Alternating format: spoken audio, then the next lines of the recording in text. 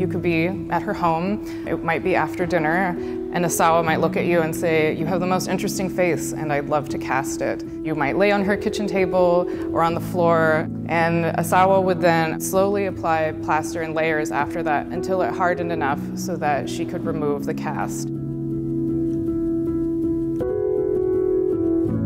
The Faces of Ruth Asawa is a long-term installation of the 233 face masks that comprise this mask wall. And this installation is meant to be evocative of the original setting in which these masks were placed, which was on the exterior of her entryway outside their Noe Valley family home. It was made over the course of more than 35 years from around 1966 to 2000. And on the wall, you will find casts of friends, family members, other artists, community members in the Bay Area, and it really represents the vast range of folks that she interacted with throughout the course of her long career in San Francisco. They were hanging outside of her house for many years in the elements, and um, when they came into the museum, they needed a big condition survey so that we could know what sort of state they were in, and discovered that a lot of them needed some treatment. This is a mask that broke at one point, and you can see the break line all across the face, and a family member repaired it. And so there are lots of adhesive residues and funny fill materials.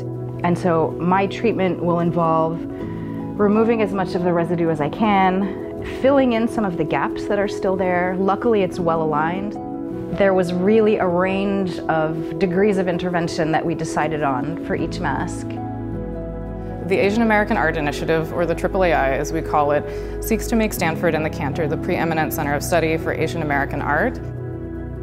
This is a body of work that is previously underacknowledged, so it really represents the type of work that we like to do, which is highlight and provide platforms for art made by artists of Asian descent, but also reveal new histories and narratives that might be previously unknown to most museum visitors and scholars.